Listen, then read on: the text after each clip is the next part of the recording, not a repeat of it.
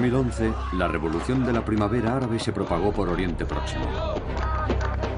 Desde Túnez a Egipto, Bahrein y Siria.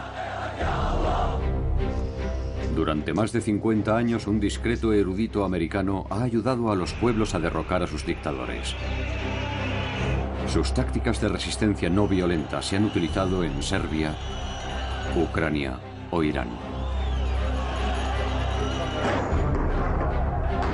Ser considerado una amenaza por un tirano es un motivo de orgullo. Significa que somos eficaces, que somos relevantes. Esta es una historia sobre el poder de la gente para cambiar el mundo y sobre el hombre que está detrás de todo ello. Las tácticas de Gene Sharp se están poniendo en práctica en las calles de Siria ahora mismo mientras hablamos. Me llamo Gene Sharp y este es mi trabajo.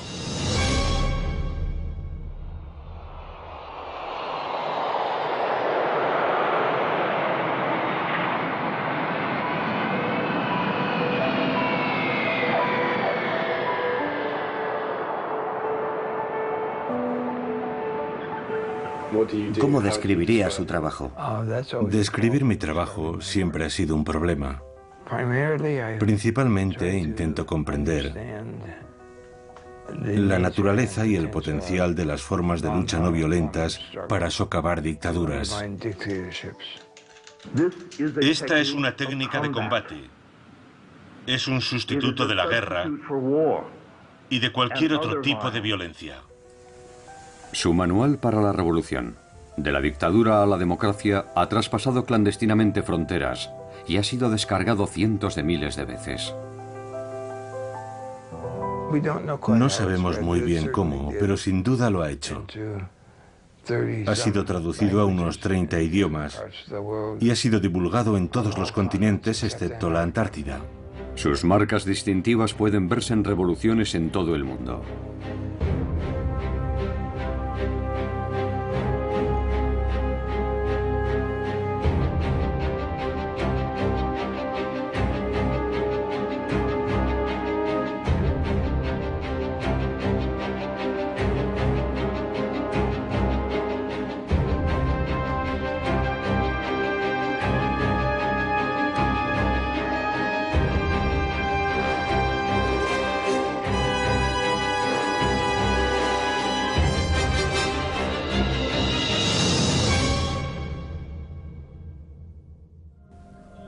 Los libros de Jin contienen 198 métodos de resistencia no violenta.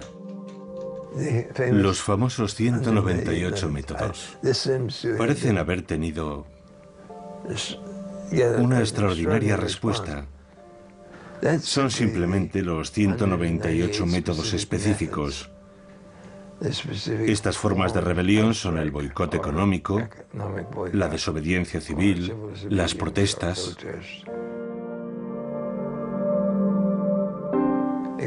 Son la contrapartida a los diferentes tipos de armas y bombas militares, a la lucha militar.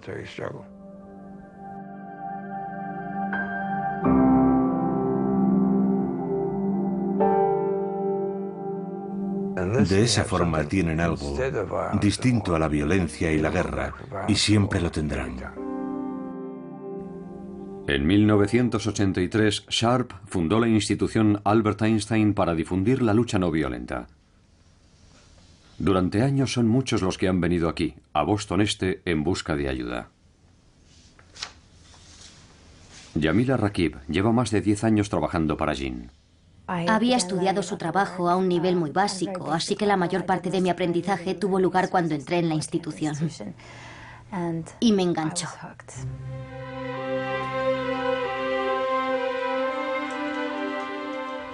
Yo no fui educado para hacer esto. Yo tenía una formación religiosa que me llevó a querer transformar este mundo en un lugar mejor y en mejores condiciones que cuando lo encontré. Y cómo hacerlo fue siempre un problema.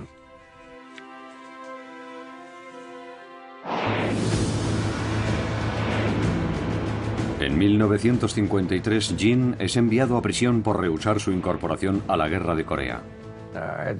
Me condenaron a dos años, de los que cumplí nueve meses y diez días. En aquellas circunstancias contabas los días igual que los meses, pero no creo que mi actitud sirviese para nada. Sirvió simplemente para mantener mi propia integridad moral, así que continué haciendo mi trabajo que era lo realmente importante. Nunca conocí a Einstein, pero le escribí, no recuerdo cómo conseguí su dirección. Le dije, voy a hacer esto y voy a ir a la cárcel. Quería contarle que he escrito un libro sobre Gandhi, sobre tres casos muy diferentes entre sí, acerca de la utilización de la lucha no violenta para la consecución de una mayor libertad, a través de medios no violentos y me contestó diciéndome que tenía muchas esperanzas, aunque también muchas dudas, y que le habría gustado tomar la misma decisión que había tomado yo, y que estaba muy interesado en leer el manuscrito que le había enviado. Y lo hizo, y escribió una introducción muy amable para el libro. Mientras estudiaba en Oxford, Jean tuvo su momento eureka un nuevo análisis sobre el poder de la gente para derrocar a un tirano. Si puedes identificar las fuentes del poder de un gobierno, como la legitimidad, el apoyo popular, el apoyo institucional, entonces sabrás de qué depende la existencia de esa dictadura. Y puesto que todas esas fuentes de poder dependen de la buena voluntad, la cooperación y la obediencia de la gente y las instituciones, tu trabajo es bastante sencillo. Solo tienes que reducir ese apoyo, esa legitimidad, esa obediencia, y el régimen quedará debilitado. Si eliminas esas fuentes de poder, el régimen caerá. ¿Y cómo se sintió en el momento ¿Eureka? Sí. Sentí un gran alivio, porque aquello fue lo que convirtió todo en realidad.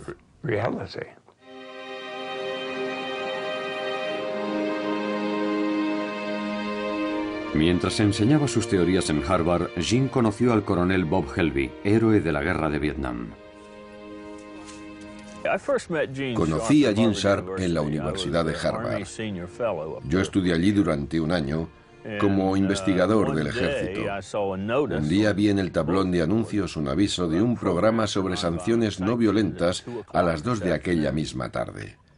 No tenía nada que hacer, así que fui a ver quiénes eran aquellos amantes de la paz uh, y a confirmar mi noción preconcebida de que probablemente llevarían anillos en la nariz y en las orejas uh, y de que su aspecto sería sucio. Así que fui a verlos y sorprendentemente su imagen no era esa. Su aspecto era totalmente normal. Y unos minutos después de habernos sentado, un caballero de baja estatura y voz amable tomó la palabra y dijo, me llamo Gene Sharp y nos hemos reunido aquí hoy para discutir sobre cómo tomar el poder político y negárselo a otros. Yo digo que la lucha no violenta es lucha armada. Y tenemos que arrebatar ese término a los defensores de la violencia, que intentan justificar con palabras bonitas ese tipo de lucha. Nosotros combatimos con armas psicológicas, armas sociales, armas económicas y armas políticas. Un tipo de lucha más poderosa contra la opresión, la injusticia y la tiranía que la violencia. Aquello llamó mi atención.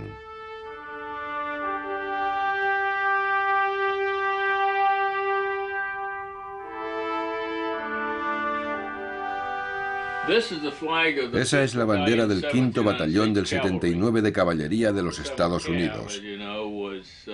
El séptimo de caballería, como todos sabéis, era el regimiento del general Custer, que luchó y murió en la batalla de Little Big Horn.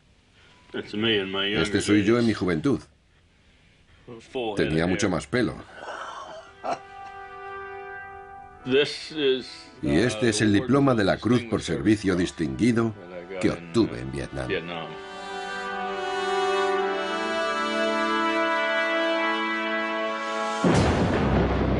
Bob fue condecorado en 1968 por su extraordinaria valentía durante una emboscada del Vietcong. Pero su experiencia cambiaría su punto de vista sobre la forma de resolver los conflictos.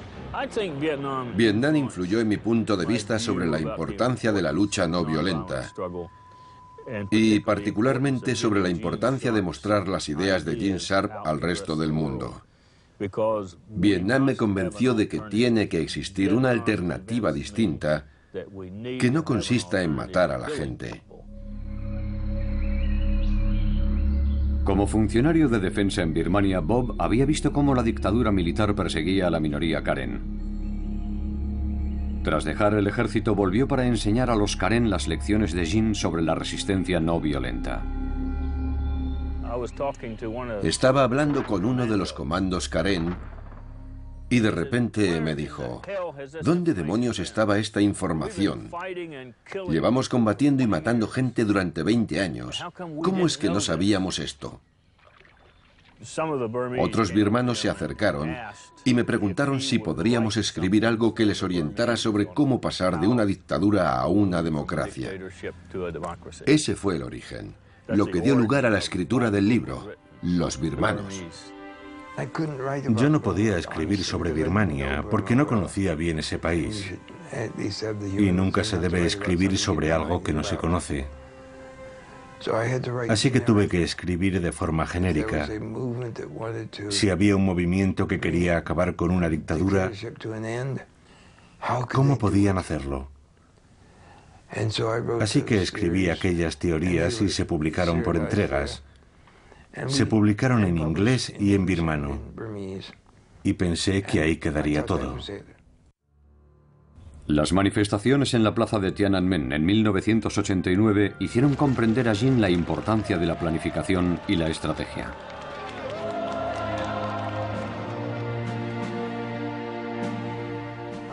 Fui a Pekín cuando las protestas de la plaza de Tiananmen ya estaban en marcha.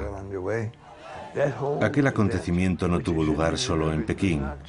Protestas similares estaban teniendo lugar en otras 350 ciudades de China. Pero no se planificaron, no se tomaron decisiones estratégicas, como cuánto tiempo había que permanecer en la plaza y cuándo había que abandonarla. Los estudiantes no tenían un plan, estuvieron improvisando constantemente. Y más tarde supimos que muchos de aquellos ciudadanos chinos que estaban en la calle protestando fueron tiroteados y asesinados. La idea de que la improvisación te proporcionará un gran éxito es absurda. Es exactamente lo contrario. Si no sabes lo que estás haciendo, lo más probable es que te metas en graves problemas.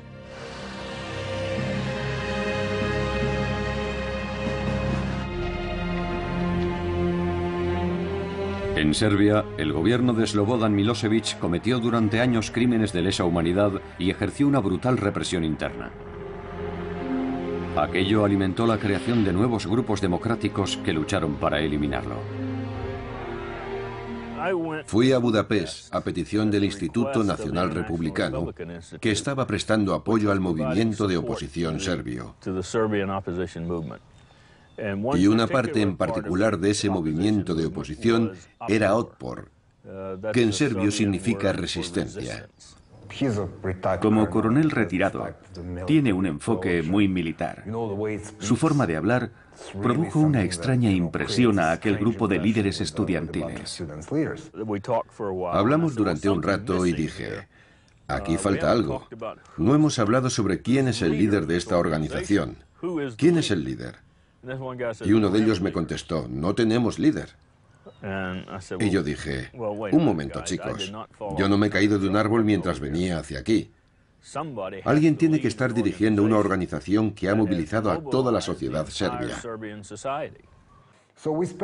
Así que estuvimos alrededor de una hora tratando de engañarle acerca de algunas cuestiones. Y era porque no nos sentíamos muy cómodos dando detalles sobre nuestra organización a un extranjero. Y entonces me explicaron por qué no parecía haber un líder definido. Lo hacían para ocultárselo al gobierno. El gobierno no sabía quién estaba al mando. Más tarde supe que estaba hablando con el líder, Sergei Popovich. Bob empezó a enseñar las lecciones de Gene Sharp a los nuevos revolucionarios serbios. Cuando Bob Helby nos dio La política de la acción no violenta de Gene Sharp, me quedé maravillado y un poco avergonzado por no conocer un libro así, a pesar de que había una traducción al serbio de De la dictadura a la democracia que tampoco había leído. Y ver escrito detalladamente en un libro cómo opera el poder, cómo funcionan sus pilares de apoyo y todas esas cosas que habíamos aprendido a base de golpes, fue realmente increíble.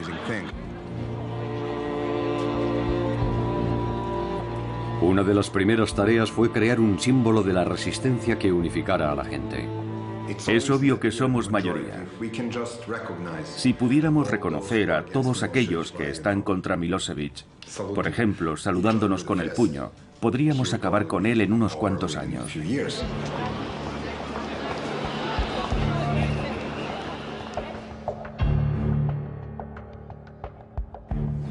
La atomización se produce cuando el régimen intenta hacer que cada individuo en la sociedad sea una unidad aislada, es una de las principales formas de control de estos sistemas. Hacer que la población, que la gente se tenga miedo, que tenga miedo a hablar, actuar en grupo, que nunca le digan a un vecino o incluso a veces a un miembro de su familia lo que piensan realmente. Al ver el ejemplo de demostración de valentía por parte de otras personas, pasamos a ser nosotros. Y nosotros podemos hacer cosas que yo solo no podría.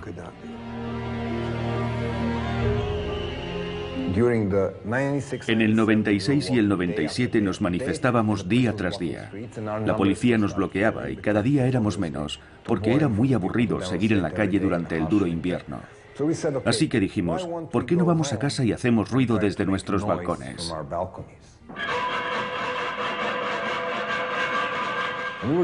Lo hacíamos entre las siete y media y las ocho de la tarde como respuesta al informativo de la televisión estatal. Nosotros no vemos vuestra basura, actuamos a nuestra manera. De las ollas y las sartenes pasamos a colocar carteles en todos los edificios, con cosas como ¿vais a procesar a los chavales por llevar camisetas de Otpor cuando no hay una sola ley que prohíba llevar lo que uno quiera escrito en una camiseta?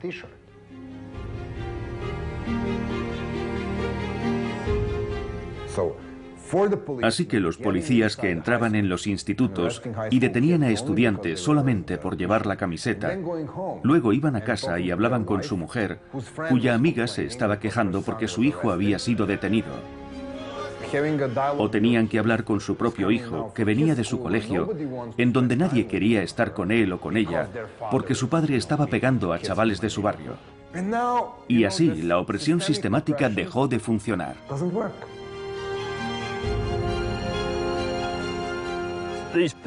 Estos pilares sostienen al gobierno, igual que mis dedos sostienen este libro. Y yo he desarrollado una estrategia para socavar estos pilares. La policía, las comunidades, las instituciones religiosas, los trabajadores, lo que sea, cada organización. Y a medida que se van debilitando y empiezan a derrumbarse, el gobierno se derrumbará cuando los pilares estén rotos. Lo ideal es que esos pilares no queden destruidos, sino que sean traspasados al movimiento democrático. Tienes que fagocitar esos pilares, y eso es lo que la resistencia serbia ha hecho. Decirle a la policía que todos somos víctimas del mismo sistema. No tiene sentido librar una guerra entre víctimas y víctimas, aunque unas lleven uniformes azules y las otras pantalones vaqueros. No debemos luchar entre nosotros. Y esa táctica funcionó en Georgia, en Ucrania y en muchos otros lugares del mundo. Eso es lo que hay que hacer, fagocitar esos pilares, no lanzar piedras a la policía.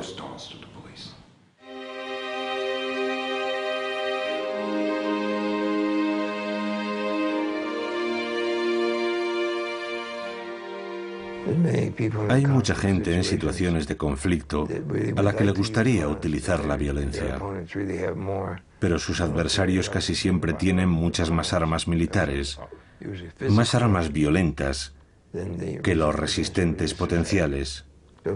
Si como resistente eliges luchar con la violencia, tu adversario tendrá todas las ventajas, porque estás eligiendo luchar con las mejores armas que él posee. Pero puedes elegir luchar con armas no violentas, que son mucho más difíciles de contrarrestar para tu adversario.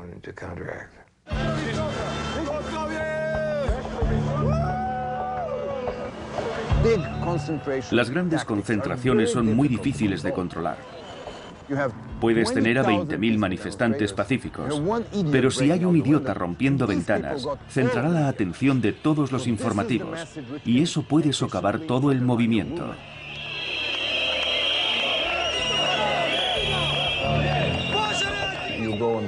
Si estás en una manifestación y existe el riesgo de que la gente sea detenida, ¿qué debes hacer? En vez de colocar a los tipos grandes delante, colocas a las chicas. Colocas a las abuelas, a los militares veteranos, de manera que la policía vea caras amistosas. Esa gente llevará flores y banderas y estará sonriente. Así haces la situación menos amenazadora y reduces enormemente las probabilidades de que se produzcan actos violentos. El 5 de octubre fue el triunfo de una estrategia, pero no fue así como lo vieron muchos espectadores o medios como la CNN. Ellos solo vieron gente, estruendo y nada más, pero fue el resultado de 10 años de intentos, dos años de resistencia de Otpor y cinco campañas. Estábamos determinando la victoria en las elecciones. En septiembre de 2000, Serbia acudió a las urnas. La resistencia sospechaba que Milosevic amañaría las elecciones. Nosotros sabíamos que Milosevic perdería y sabíamos que no aceptaría la derrota.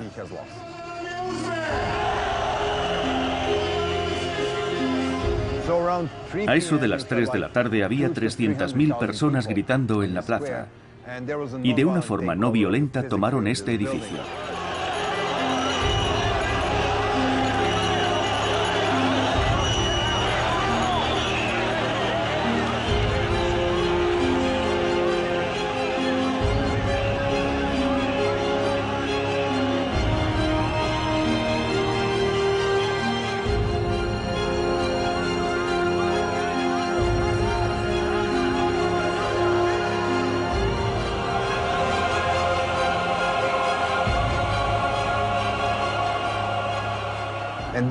Cuando la gente entró en el edificio aquel 5 de octubre, encontró muchas papeletas premarcadas para Milosevic.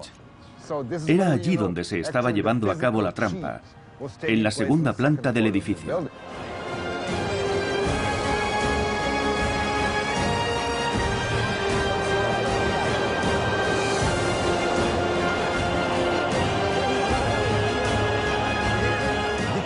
Aquello fue el símbolo de la verdadera caída de Milosevic, de por qué perdió el poder aquel día. Perdió porque la policía le desobedeció, porque ordenó a los militares salir de los cuarteles y le desobedecieron. Así fue como perdió el poder. Lo que se ve en televisión, la toma física del edificio, es el símbolo de Milosevic perdiendo su autoridad aquel día.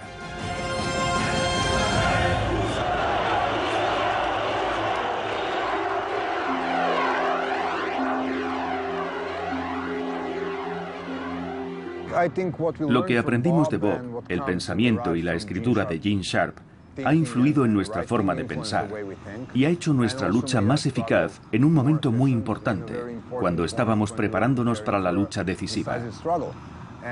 Creo que lo que Bob y Jean están haciendo es valiosísimo en todo el mundo. Y aunque las revoluciones no violentas no pueden ser exportadas o importadas, el saber cómo aplicar la lucha no violenta sí puede transmitirse. Y se está transmitiendo ahora mismo mientras hablamos.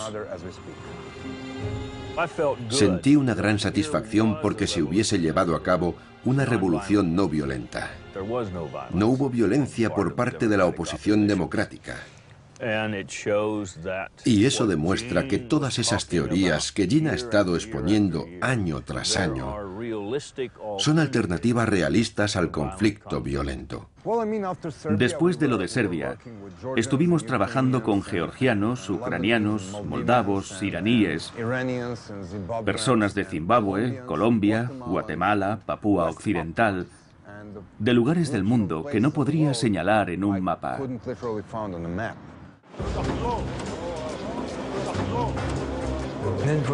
De Serbia, las noticias llegaron a Georgia, que estaba bajo un régimen muy represor, y luego a Ucrania, que también tenía problemas, también llegaron hasta allí, y luego a una serie de países situados en la franja sur de la antigua Unión Soviética.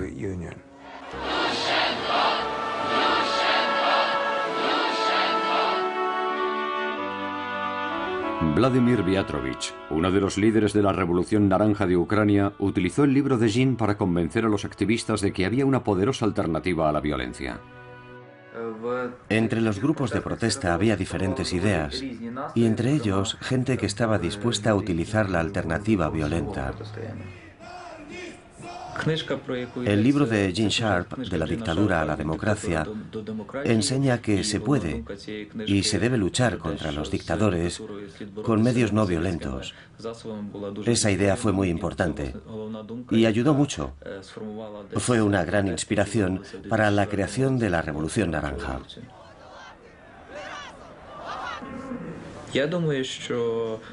El libro de Gene Sharp aquí era conocido solamente por unas 10.000 personas.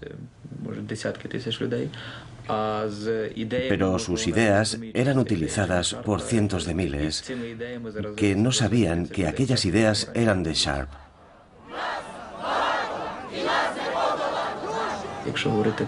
Aunque la gente no sepa quién es Gene Sharp, sí conocen sus ideas, lo que hace de él una persona muy influyente en el mundo.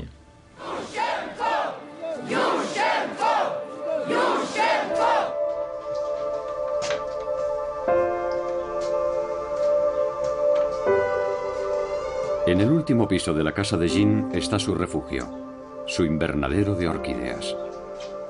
Requieren bastante trabajo.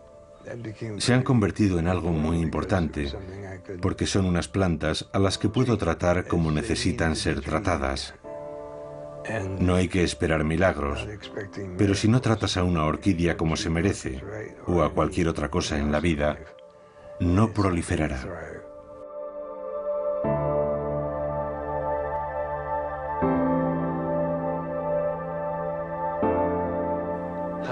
¿Cómo se siente al ver propagarse su trabajo? Su propagación ha sido notable. Siempre pienso, sigo asombrado. Sigo asombrado. Ver una obra que yo consideraba básicamente una introducción, creo que tiene entre 70 y 80 páginas, despegar así ha sido la confirmación de que el análisis era bastante preciso. No se ha propagado gracias a un anuncio, a una buena publicidad. Se ha propagado porque la gente lo ha encontrado útil, lo ha encontrado importante.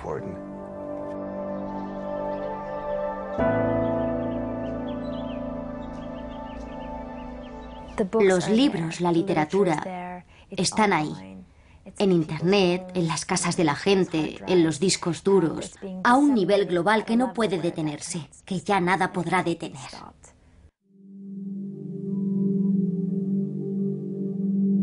Hay gente que se esfuerza en desacreditarnos. En una ocasión, el presidente Chávez se refirió a nosotros como una pandilla de gringos y dijo que la institución Albert Einstein no entendía Venezuela. Y yo pensé, puede que no comprendamos del todo la situación de Venezuela, que es probablemente muy compleja, pero yo no soy un gringo. Jim Sharp, George Bush y sus ideólogos de este golpe suave mecha lenta, señores, este plan de ustedes aquí en Venezuela, olvídense. En 2008 el gobierno iraní emitió un vídeo propagandístico acusando a Jin de trabajar para la CIA. La Casa Blanca, Washington, D.C. Gene Sharp, el teórico de la desobediencia civil y de las revoluciones de terciopelo, que ha publicado tratados sobre esta materia, es uno de los agentes de la CIA, encargado de la infiltración estadounidense en otros países. Viendo nuestra oficina pueden comprobar lo bien subvencionados que estamos. En cierto sentido me impresionó que estuviésemos en su radar, que mostrasen a Jean sentado en la Casa Blanca y pensé, ojalá los de la Casa Blanca se reunieran con nosotros y nos escuchasen, pero no lo hacen. Trabajamos en esta pequeña oficina sin ninguna conexión con ellos. Simplemente no ha sucedido. Nosotros no hacemos eso. No somos bajo ningún concepto una organización de la CIA y es realmente irónico porque vemos muy a menudo esas acusaciones en la prensa y siempre nos preguntamos de dónde vienen. Tras las elecciones iraníes en 2009, la oposición declaró que el resultado había sido amañado. Miles de personas desfilan por la gran avenida, todas caminando en la misma dirección. Los manifestantes portan banderas verdes y la gente va mostrando la V con los dedos en señal de victoria. Yo dudaba de que la gente se manifestase después de las advertencias, pero estaba equivocado. Miles de manifestantes salieron a las calles de Teherán. La respuesta del gobierno fue brutal y una joven estudiante iraní, Neda Aga Soltán, fue alcanzada por un francotirador del gobierno.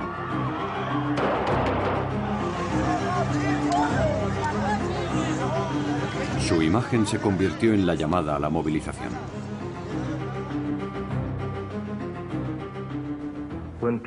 Cuando la gente es golpeada y masacrada, ello genera un proceso que yo llamo jiu-jitsu político, en el que la fuerza del adversario se utiliza para socavarlo, para hacer que caiga, aislándole de la gente que le prestaba apoyo y movilizando a otra gente que pasa a formar parte de la resistencia activa.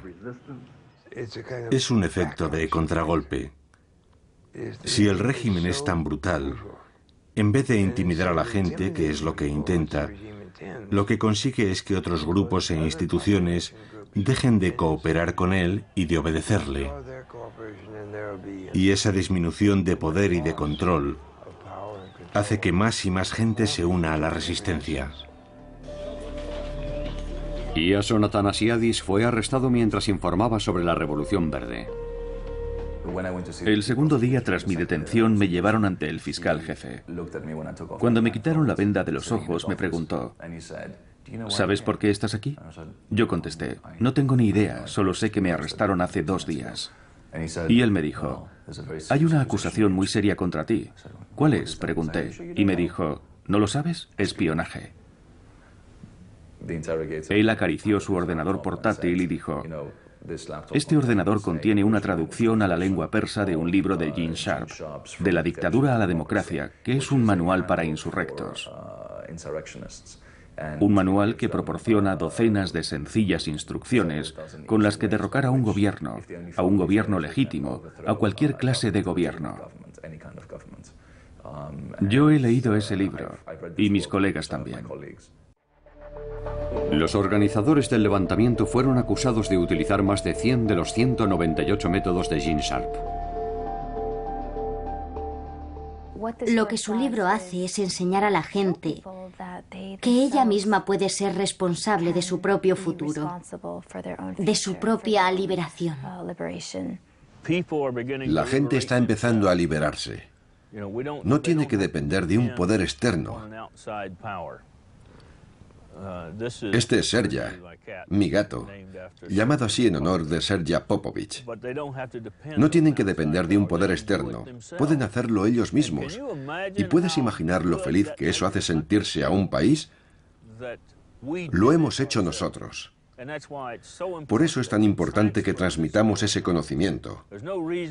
Los Estados Unidos no tienen por qué ocupar ningún país. No hacemos ningún bien con eso, ni nosotros ni la Unión Soviética.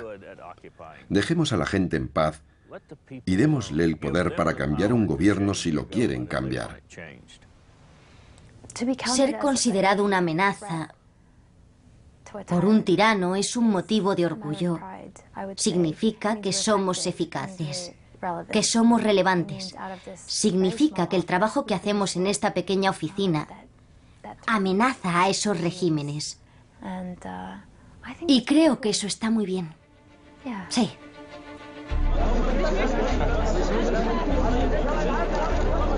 Este fue el principio de la revolución egipcia. El levantamiento fue espontáneo, pero los grupos democráticos egipcios llevaban años trabajando en la estrategia.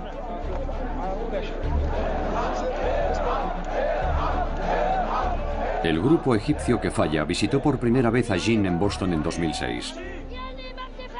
Cinco años después, antiguos revolucionarios serbios estaban entrenando a nuevos grupos en el Cairo y la Hermandad Musulmana Egipcia colgó el libro de Jin, traducido al árabe, en su página web. Cuando llegó el momento estaban preparados para liderar la revolución.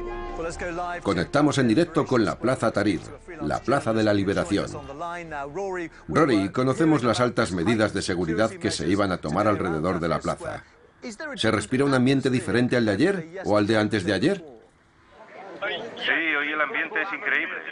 El sector de la sociedad egipcia que abandonó la plaza Tahrir ayer ha vuelto reforzado. Han conseguido reactivar la protesta. Hay niños muy pequeños, mujeres, ancianos, la gente canta y baila. Hay muchos instrumentos musicales en la plaza. Y está más llena de lo que ha estado estos días. Ahmed Maher era uno de los líderes del Grupo Democrático Egipcio 6 de abril. Estábamos esperando a que ocurriera algo que encendiese la llama, que provocase un gran movimiento de personas. Y ocurrió en Túnez.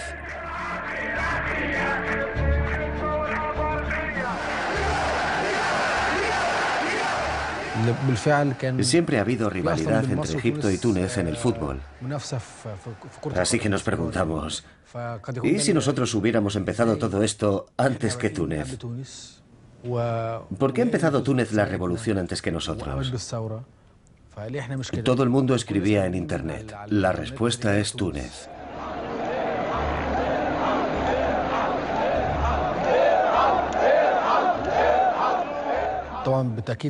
Por supuesto que los libros de Gene Sharp tuvieron un gran impacto en nuestro movimiento.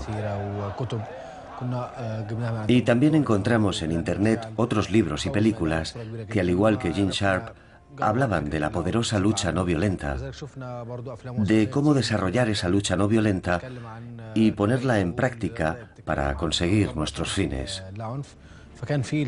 Así que hubo muchas fuentes de inspiración para esa idea.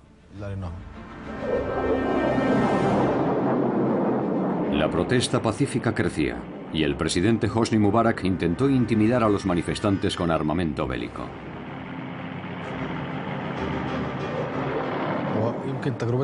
Nuestra situación era distinta a la de la resistencia serbia, que antes de su revolución se había ganado a la policía y al ejército. Nuestro caso era muy diferente estábamos librando una gran batalla contra la policía, mientras que el ejército se mantuvo al margen durante todo el tiempo. Así que nuestra experiencia fue muy diferente a la serbia.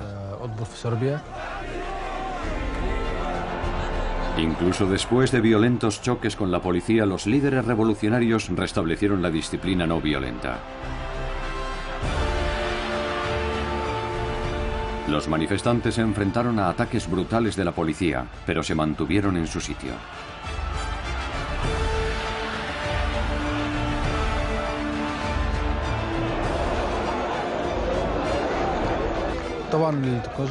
La tecnología jugó un papel vital a la hora de comunicar y extender nuestro mensaje.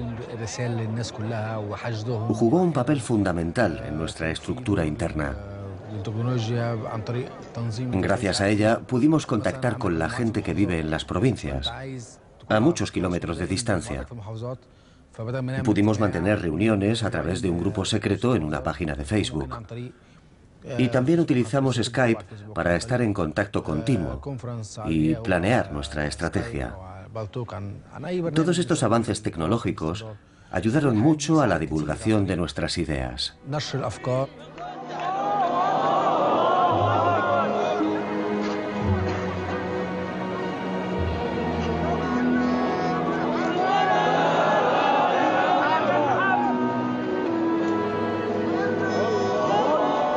Mientras los musulmanes y los cristianos se protegían mutuamente durante sus rezos, sus líderes trataban de ganarse el apoyo del ejército. ¿Qué hizo que el ejército nos apoyase al final? El ejército, a fin de cuentas, proviene del pueblo, sus miembros son parte del pueblo y tiene un importante papel nacional. El papel de la policía tenía más que ver con el amaño en las elecciones y la protección a los corruptos. Luchaba por asegurar su supervivencia.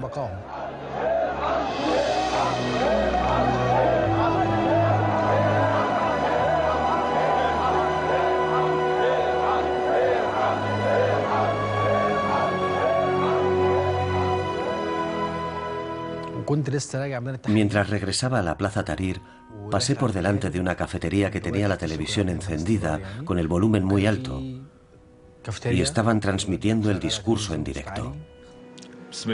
En nombre de Dios misericordioso y compasivo, con ciudadanos, teniendo en cuenta las difíciles circunstancias por las que atraviesa nuestro país, el presidente Hosni Mubarak ha decidido renunciar a su cargo como presidente de la República.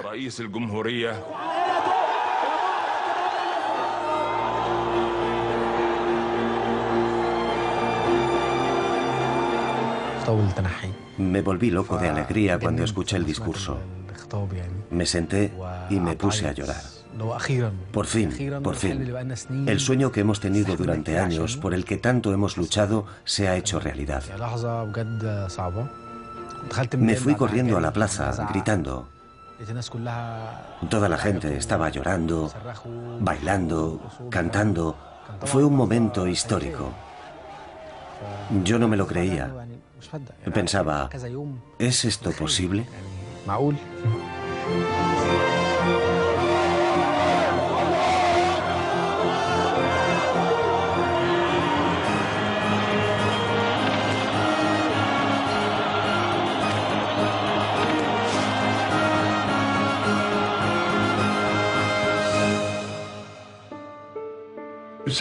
Alguien sabía muy bien lo que estaba haciendo. Y no necesitamos que nadie nos atribuya o me atribuya el mérito si no es merecido o no está documentado.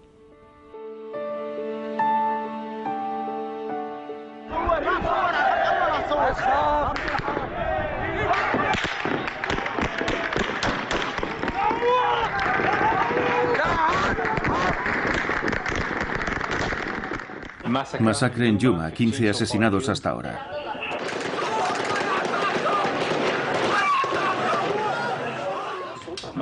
Osama Monayed es experto en comunicaciones y uno de los líderes del levantamiento sirio. Esto es un vídeo de un chico al que disparan. Un niño grita, mi hermano, mi hermano. Osama coordina una red de cámaras secretas por todo el país. Es una cámara de alta definición conectada a un modem vía satélite que obtiene imágenes en directo y que transmite por Internet. Hoy hemos conseguido enviar estas imágenes a Al Jazeera. Las tácticas y teorías de Gene Sharp se están poniendo en práctica en las calles de Siria ahora mismo mientras hablamos. Lo que hicimos fue promover esas tácticas y explicárselas a la gente en nuestras páginas de Facebook y también en YouTube. Así es como se aplican, poniendo flores en los puntos donde han caído los héroes, mostrando ilustraciones de la campaña de grafitis durante las manifestaciones. También limpiando las calles y dejándolas más bonitas para demostrar que podemos hacer las cosas mejor que el régimen en lo que se refiere a servicios. De la dictadura a la democracia te da la inspiración, la seguridad de que esto puede conseguirse, de que puede suceder realmente. En el verano de 2011, tras un ataque brutal del ejército sirio, Osama viajó a Boston para reunirse con Jin. ¿Cuándo estuviste aquí por última vez? No recuerdo exactamente. ¿Fue en 2007 o en 2006? Sí, hace años. Cuando solo había unas cuantas personas que creían en un escenario de resistencia no violenta en Siria. Cuando solo unos pocos creían que esto podía suceder realmente en un país como Siria. Muy bien. Todo listo.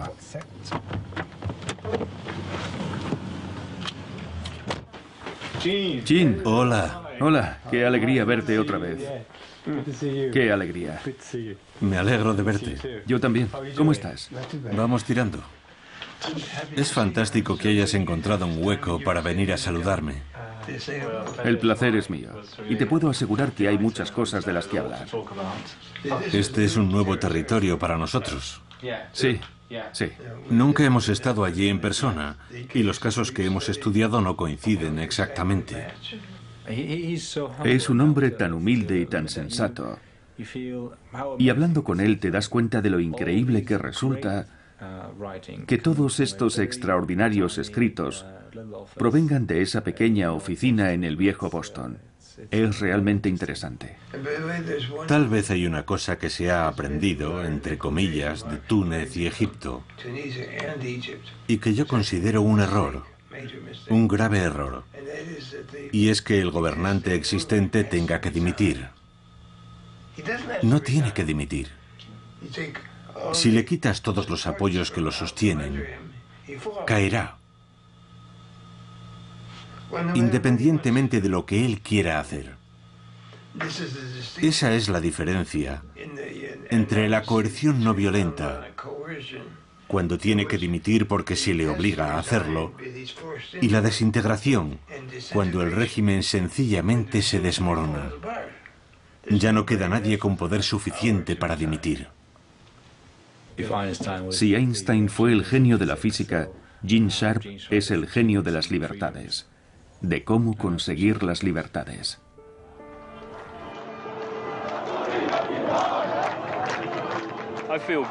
Me siento satisfecho al saber que estamos propagando el mensaje. Y si los pueblos siguen el consejo de Gene en cuanto a librar una lucha no violenta, tarde o temprano ganarán. La ventaja que tenemos utilizando este tipo de lucha, el pueblo contra el tirano, es que mientras no nos rindamos, nunca seremos derrotados. Y esa es la clave. Mientras no te rindas, no estás derrotado. Yo creo que con el paso del tiempo, Gene Sharp será un nombre emblemático. Creo que sus libros estarán en todas las bibliotecas del mundo y serán traducidos a la mayoría de los idiomas. ¿Podrá esta institución sobrevivir hasta entonces? Sin duda. Esperamos que sí. La acción no violenta políticamente significativa ha tenido lugar en al menos los siguientes países.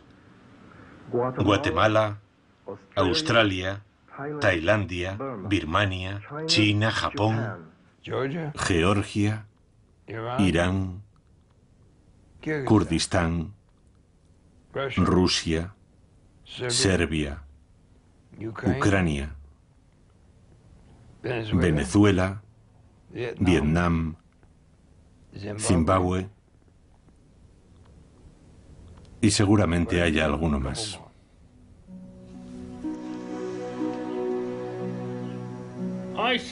Pienso que se está desarrollando entre ellos una relación padre-hija. Pueden sentarse, hablar, están en la misma onda. Ella lo protege y creo que lo quiere como una hija quiere a un padre.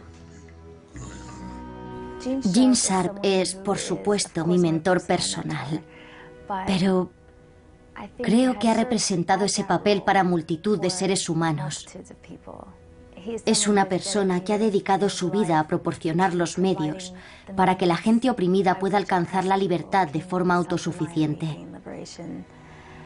Y eso es algo que ha cambiado el mundo y continuará haciéndolo de forma extraordinaria. Es algo muy personal. Es simplemente amor.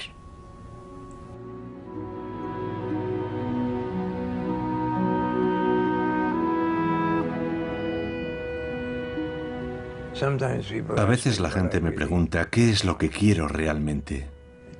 ¿Tengo un sueño? Claro que lo tengo. Sueño con que la gente oprimida del mundo sea capaz de aprender de los datos disponibles y de las nuevas experiencias. Sueño con que este tipo de lucha no violenta se pueda utilizar para la liberación de toda opresión y para sustituir a los conflictos militares y violentos, de forma que ya no tengamos que librar batallas contra el terrorismo, porque las personas que podrían haberse convertido en terroristas han elegido utilizar este tipo de lucha para ayudar a la gente oprimida y cambiar así sistemas políticos en todo el mundo. Me llamo Gene Sharp y este es mi sueño.